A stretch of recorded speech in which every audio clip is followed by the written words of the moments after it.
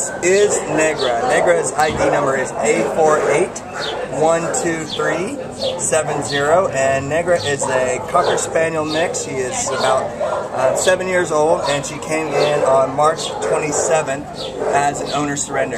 Now, this sweet girl has been here too long. She is amazing. She's got the sweet disposition. She's got silky soft skin. She's just a, a gentle little soul. Um, she was dropped here because her uh, parents moved away and they couldn't take their best friend.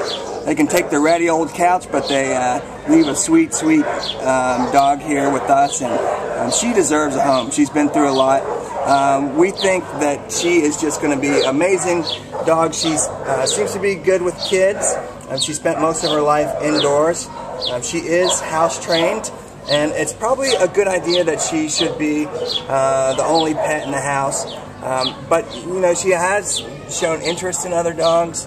Um, she she's not in any way aggressive. Uh, she's a little timid, in fact, right now, but um, as she uh, spends more time with her handler, she's really warmed up. So uh, we think once you get her in a house, it's going to be an amazing uh, new rebirth of this dog. So if you're looking for an awesome, sweet little companion, uh, then I highly recommend Negra, and you can come and see her today at the Baldwin Park Shelter.